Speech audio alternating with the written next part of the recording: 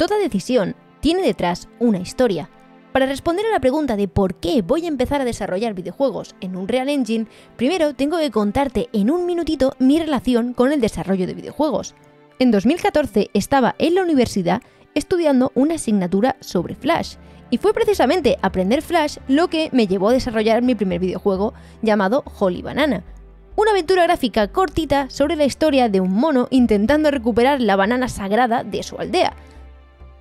La experiencia me gustó tanto que en 2015 probé a hacer juegos en RPG Maker, hacer mods y acabé metiéndome de lleno en Unity. Tanto que incluso acabé haciendo presentaciones para clase utilizando el motor y participando en alguna Game Jam.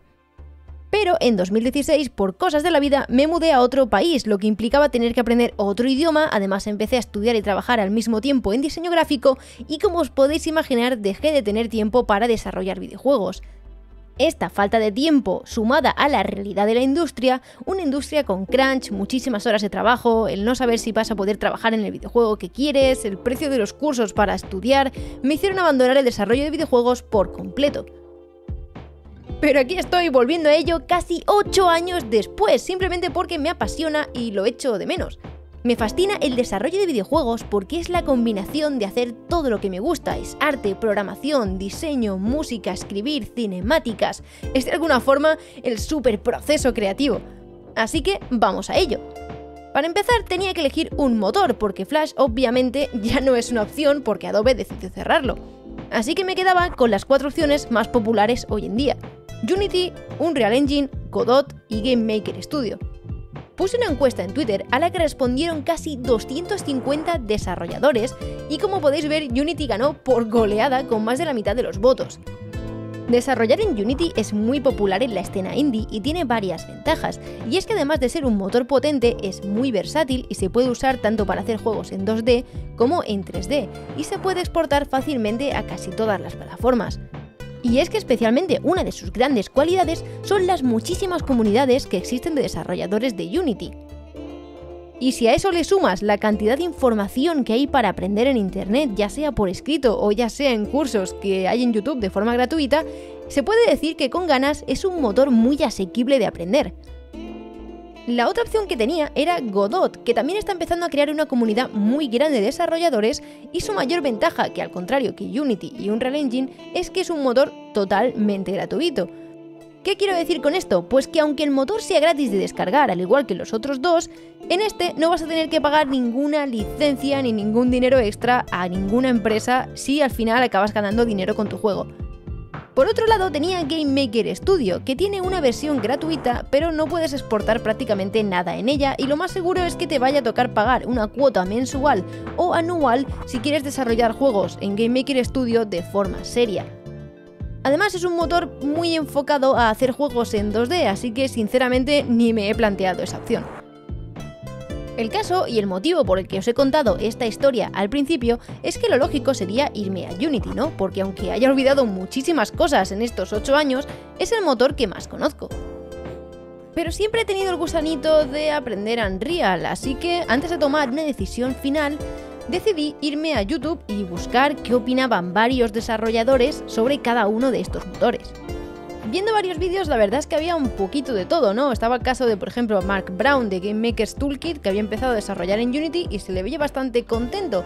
Y por otro lado, había otros youtubers, como Pontypants, que tiene un vídeo muy interesante explicando más o menos las diferencias entre Unreal y Unity, pero él al final se quedaba con Unreal.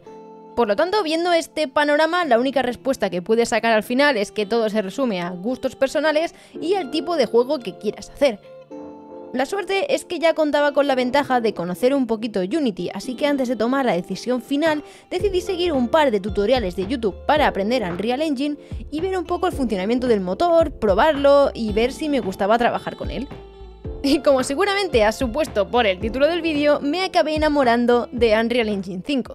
Así que os voy a contar los 10 motivos por los que he decidido que este es el motor que mejor se adapta a mis necesidades.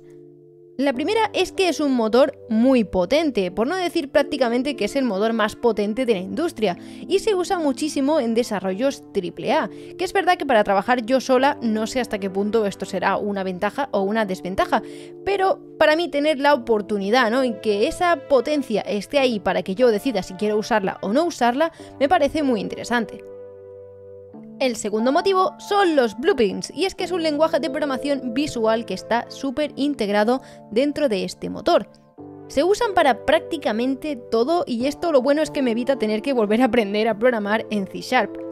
Y por lo tanto a tener que también picar código de forma tradicional escribiendo línea por línea. Ya que Blueprints lo que hace es que tiene distintos nodos con funciones de programación y tú lo vas uniendo mediante líneas y lo ves todo de forma visual. Sé que en Unity también existen este tipo de plugins externos para poder hacer programación de forma visual, pero es verdad que de alguna forma prefiero un motor donde esto ya esté integrado y sea parte del motor y que el motor esté construido alrededor de ello a que sea un plugin externo como es el caso de Unity. El tercer motivo son los Megascans, y es que Unreal Engine te pone a tu disposición la librería completa de Quixel Megascan completamente gratis. ¿Qué significa esto? Pues que tienes más de 16.000 assets a tu disposición, entre objetos, materiales, pinceles, de todo lo que puedas necesitar para construir tu juego. Así que trabajando yo sola, la verdad que tener la posibilidad de quitarme todo ese trabajo de modelar absolutamente todas las cosas en 3D que van en el juego, o incluso tener que gastarme el dinero para comprarlas en el marketplace, me parece un punto súper importante a la hora de elegir el motor. Y ya no es solo la librería de Megascans, es que además, igual que Epic Games regala juegos gratis todas las semanas, también cada mes te regala 5 o 6 assets gratis. Así que a lo poco que estés desarrollando ya un añito o así, vas a tener una colección de assets de pago que te han regalado mm, básicamente por la cara, así que al final puedes acabar teniendo también una librería de assets propia muy interesante que puedes usar dentro de tu juego. El cuarto motivo es Lumen, y seguramente te preguntarás, ¿qué es Lumen? Pues para resumirlo de forma muy rápida es iluminación en tiempo real, algo que nunca se podía haber hecho antes de Unreal Engine 5 y ahora mismo se puede crear una luz básicamente realista que rebota contra las paredes, contra los objetos y, es, es una locura, sinceramente. Básicamente esto me permite ver cómo queda la luz antes de renderizar, hacer cambios en tiempo real, y sobre todo me va a ahorrar mucho tiempo a la hora de construir la iluminación de mi juego. Y hablando de ahorrar tiempo, el quinto motivo es Nanite, que básicamente es la segunda locura que te ofrece Unreal Engine 5 y es que te optimiza los assets estáticos del juego hasta el punto de que puedes poner millones de polígonos en un nivel y el juego sigue funcionando a 100 FPS. Es decir, esto es una locura y que al igual que el punto anterior, creo que me va a significar ahorrarme mucho, mucho tiempo en optimizar el juego y que vaya bien. Y para terminar el punto de las cosas locas, en el sexto lugar tenemos MetaHuman, que es una característica que está en desarrollo, pero más o menos se puede probar cómo puedes crear personajes realistas en cuestión de minutos. Que la verdad que tengo muchas ganas de que salga ya esto implementado, porque tiene pinta de que va a significar un avance en el futuro de los videojuegos súper importante. El séptimo motivo es el ecosistema que hay dentro de Epic Games y de Unreal Engine.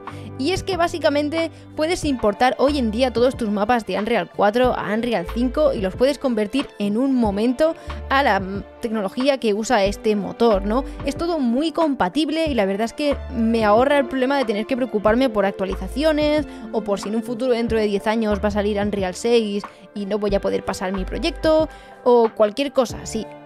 Además se nota que esta gente está invirtiendo muchísimo dinero en el motor, que lo están mejorando constantemente, van añadiendo nuevas funciones y creo que se están implicando mucho y para mí me vale la pena, si voy a aprender, aprender un ecosistema que más o menos se vaya a mantener igual a lo largo del tiempo. El punto número 8 es simplemente que es un motor muy versátil y eso tiene la ventaja de que puedes exportar a prácticamente todas las plataformas, incluso a móviles, y puedes probar cosas diferentes como hacer juegos en realidad virtual. Y ahora mismo que estoy empezando y lo único que sé es que quiero hacer un juego en 3D, me parece bastante cómodo el aprender un motor que se adapte a diferentes tipos de juegos y ya no solo es que sirva para hacer videojuegos, sino que también se puede usar en cine, en arquitectura, en automóviles y en otros sectores así. Así que yo qué sé, pues sabiendo que este motor sirve para más cosas y en un futuro me canso del desarrollo de videojuegos, sé que me puedo cambiar de sector y aún así aprovechar las cosas que he aprendido. Y en el puesto número 9 es que es un motor que es prácticamente gratis. Según las políticas que tienen hasta día de hoy, no tienes que pagar absolutamente nada a Epic Games hasta que hayas generado un millón de dólares con tu juego y entonces a partir de ahí tienes que pagarles un 5% en licencias. Y la verdad es que después de pensarlo bastante con todo lo que me ofrece este motor, pagar un 5% a partir del millón de dólares no me parece que sea una locura. Y el último motivo, y seguramente el que suene más raro, es que es un motor difícil de aprender. Hay comunidades y foros, pero hay muy poca información gratuita en Internet, y mucho menos de Unreal Engine 5 que todavía no se ha lanzado oficialmente. Esto que en un primer momento parece una clara desventaja, para mí no lo es, ya que mi objetivo es compartir este viaje de desarrollo de videojuegos con vosotros a través de este canal de YouTube. Así que me parece mucho más fácil competir por visitas hablando de Unreal Engine que haciendo un curso, por ejemplo, de Unity que ya hay infinitos en esta plataforma. Por lo tanto, como conclusión, se podría decir que Unreal Engine 5 es un motor un poco raro porque implica complicarse y descomplicarse la vida al mismo tiempo, ya que es difícil de aprender, pero también te ayuda en muchísimos otros aspectos como optimizar tu tiempo, tus recursos, tiene el Nanite, tiene Lumen, tiene Megascans, tiene MetaHuman, tiene Blueprints y todas estas cosillas, pero es verdad que no hay muchos recursos disponibles para aprender, especialmente que no sean pagando. Así que de momento estoy contenta con mi decisión y supongo que ya en un año o así os contaré si ha sido una buena o una mala decisión. Ahora mismo obviamente no puedo. Lo que sí puedo hacer es recomendarte que si te ha gustado este vídeo le des un pulgar arriba y sobre todo si quieres aprender Unreal Engine 5 conmigo, te suscribas a este canal ya que iré subiendo un vídeo con todo lo que vaya aprendiendo. Así que no tienes excusa para ponerte a aprender conmigo y además creo que puede ser muy interesante tener una comunidad que esté aprendiendo al mismo ritmo. Pero no pasa nada, que un real no te mola, pues no te preocupes porque puedes visitar mi canal secundario donde hablo de diseño de videojuegos. Con esto me despido y nos vemos mañana en el próximo vídeo. ¡Adiós!